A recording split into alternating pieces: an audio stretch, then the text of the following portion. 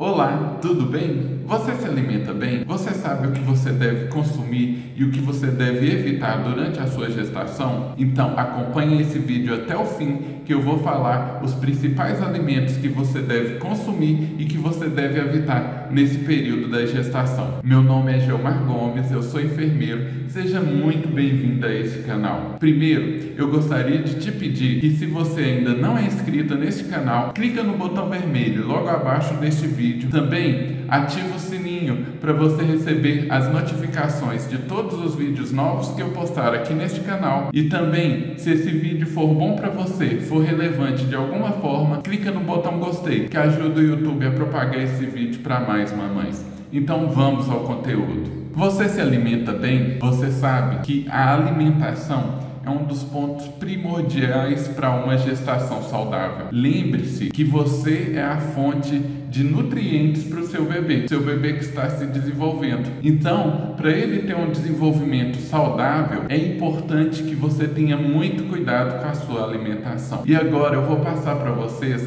os alimentos importantes que vocês devem consumir durante a gestação, porque eles são fontes de nutrientes para os seus bebês. Uma primeira questão importante é que você tenha uma alimentação equilibrada, balanceada e variada. Então, legumes, verduras e frutas são fontes de vitaminas, minerais e fibras.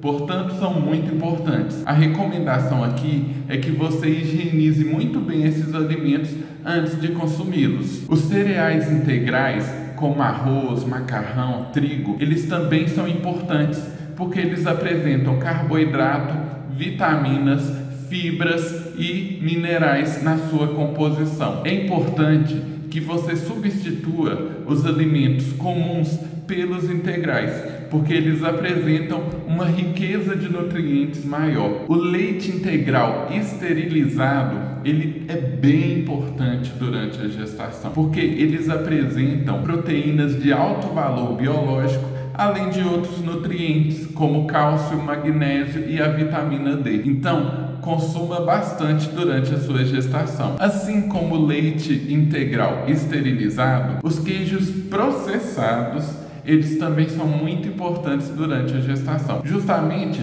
porque a, na sua composição principal é o leite e eles têm aqueles mesmos nutrientes que eu falei do leite agora há pouco a proteína de alto valor biológico, a vitamina, o magnésio, o cálcio, então eles são bem importantes. Os peixes de pequeno porte também são importantes na alimentação da gestante, porque eles apresentam proteínas de alto valor biológico, nutrientes como cálcio, magnésio, a vitamina D e também ácidos graxos poliinsaturados que são importantes. Esses alimentos eles são importantes no desenvolvimento do cérebro e da visão do seu bebê. Então eles devem ser consumidos. As carnes magras, elas são muito importantes de serem consumidas também. Aqui eu estou falando de patinho, alcatra, filé mignon, porque elas são importantes fontes de ferro e de proteína de alto valor biológico. A recomendação aqui é que elas sejam consumidas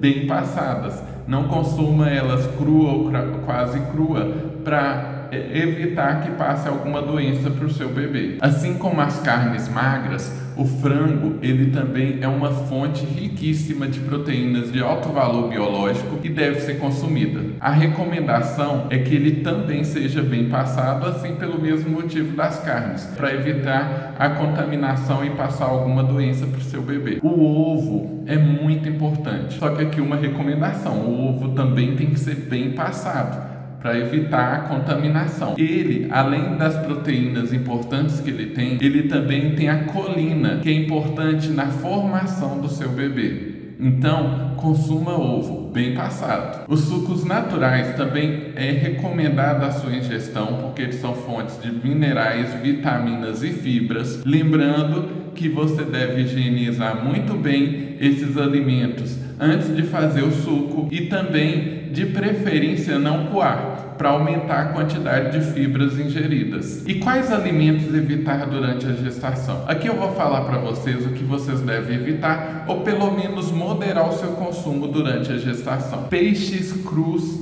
e moluscos. Eles devem ser evitados porque eles podem estar contaminados com a bactéria Listeria, o que pode causar aborto prematuro e também o parto prematuro do seu bebê. Peixes predatórios grandes, como tubarão, peixe-espada ou até mesmo atum fresco ou enlatado, eles devem ser evitados porque podem ter níveis elevados de mercúrio no organismo deles e, consequentemente, oferecer risco à saúde do seu bebê. Carnes, frangos ou frutos do mar crus ou mal passados, eles não devem ser consumidos porque podem estar contaminados e transmitir doenças para o seu bebê, como por exemplo a toxoplasmose ou até mesmo a cisticercose. Leite não pasteurizado. O que é o leite não pasteurizado? É aquele leite que não teve aquele processo térmico de preparo.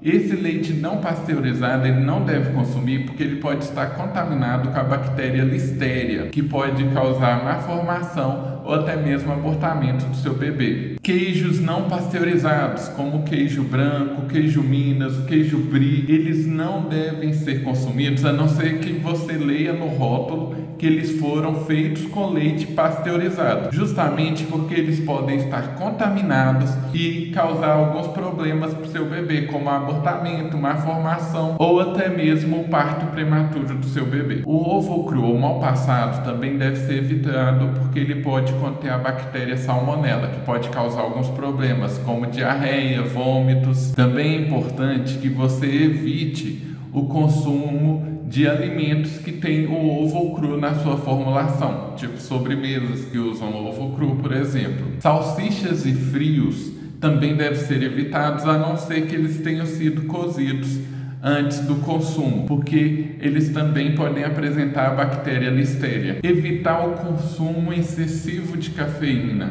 Isso é importante. Você pode sim consumir a cafeína, mas em pequenas quantidades porque pode ocasionar alguns problemas, em casos mais graves, até mesmo abortamento. E aqui é importante você lembrar que a cafeína ela não está presente somente no café. Existem outros alimentos como refrigerantes energéticos e chás, alguns chás, em que você tem a cafeína. Então, consuma, mas com moderação. Evite bebidas alcoólicas. O álcool ele pode causar alguns problemas no seu bebê, como retardo mental, crescimento anormal. O recomendado é evitá-los durante a gestação. Adoçantes. Apesar da maioria dos adoçantes não oferecerem risco para a saúde, as gestantes devem evitar os adoçantes artificiais, aqueles que têm em sua composição ciclamato aspartame dando preferência aos adoçantes naturais, que são à base de sucralose ou estévia. A canela, ela também deve ser evitada porque ela estimula a contração uterina, o que pode causar o risco de um abortamento ou de um parto prematuro. Temperos, não que eles façam mal para o seu bebê, mas alguns temperos fortes, como pimenta e curry, eles podem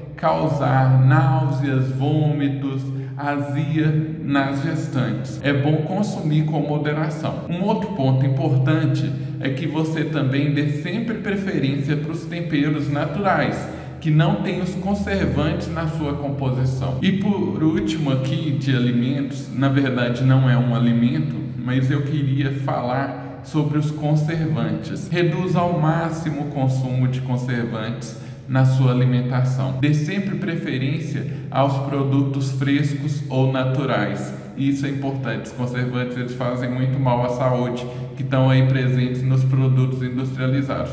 Com certeza, retirar totalmente da sua alimentação não é possível, mas dá preferência para os produtos frescos e naturais e sempre que possível não consumir esses conservantes é bem importante. Agora você já percebeu o quão importante cuidar da sua alimentação durante a gestação. Eu tentei reunir aqui para vocês os principais alimentos a consumir e que não se deve consumir ou reduzir, consumir com moderação. Eu espero que você tenha gostado. Se você gostou desse vídeo, clica no botão joinha logo aqui abaixo. Para finalizar, eu gostaria de te falar que eu vou deixar no link aqui nesse vídeo, logo abaixo na descrição, um curso que eu super recomendo sobre a gestação, para tirar suas dúvidas, incertezas, é um curso muito top. Também gostaria de te convidar a conhecer o nosso blog, que tem muita informação relevante lá. Eu vou deixar o link aqui abaixo também na descrição. Então é isso. Eu gostaria de te agradecer por ter acompanhado esse vídeo até o fim e eu te aguardo no próximo vídeo. Até lá!